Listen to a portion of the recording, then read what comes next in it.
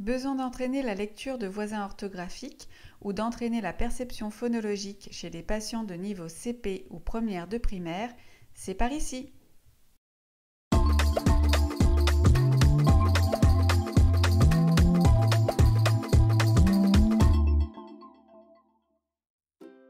Camoléon est un matériel édité par Ortho Édition qui se compose de 5 paquets de cartes, 54 cartes images niveau 1. On les reconnaît à la bordure à fleurs et le camoléon en bas. Le niveau 1 correspondant au niveau début CP. 54 cartes mots niveau 1 appariées aux images précédentes du niveau 1.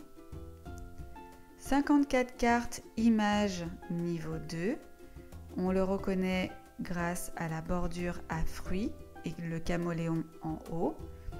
Le niveau 2 correspond au troisième trimestre de CP.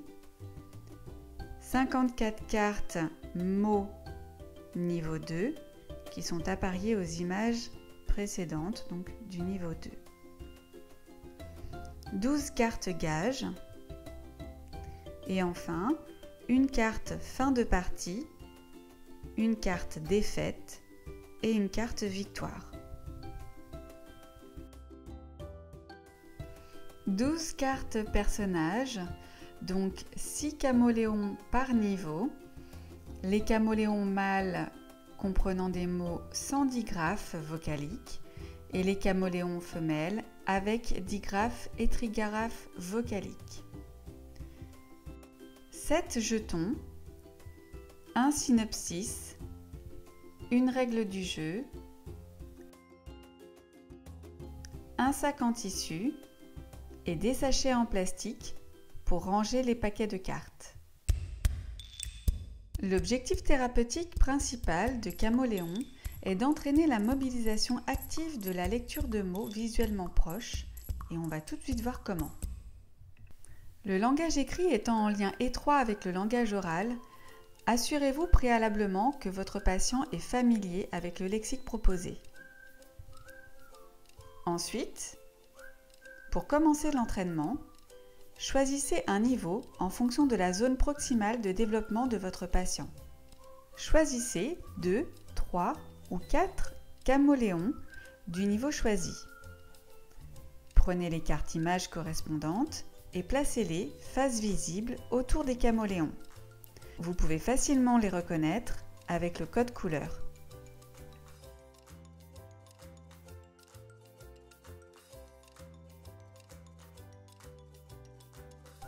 Prenez maintenant les cartes mots qui correspondent aux camoléons. Faites-en une pioche et ajoutez la carte fin de partie sous la pioche. Placez les cartes défaite et victoire, ainsi que les cartes gages. Enfin, pensez à mettre les trésors dans le sac en tissu noir.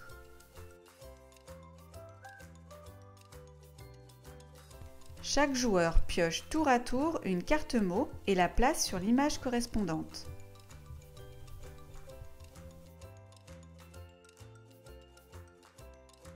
Arrivé à la dernière carte, fin de partie, les joueurs sont invités à vérifier l'exactitude des appariements.